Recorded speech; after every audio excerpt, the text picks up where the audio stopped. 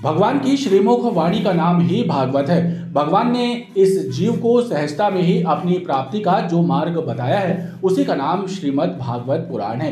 ये अमृतमय वाणी इन दिनों central jail में प्रवाहित हो रही है, जहाँ कथा व्यास अशोकानंद जी महाराज जेल बंदियों को भगवान का संदेश सुना रहे हैं।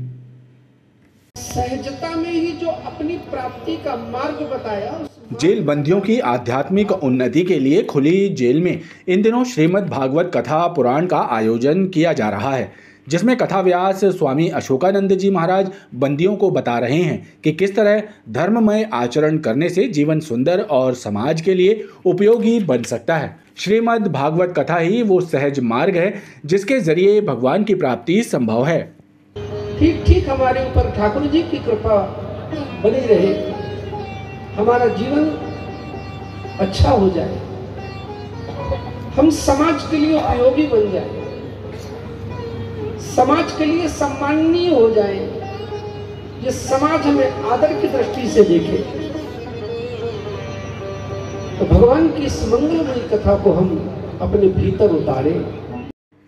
कथा व्यास ने कहा कि सन्मार्गों से ही जीवन प्रकाशमान बन सकता है। अच्छे आचरण वालों को ही समाज में सम्मान मिलता है। जेल अधीक्षक अखिलेश तोमर के निर्देशन में कराई जा रही है।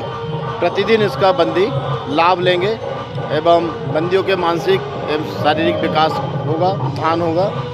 और प्रतिदिन तीन बजे से, दो बजे से तीन, पाँच बजे तक यह भागवत कथा महाराज अशोकानंद जी द्वारा कही जाएगी।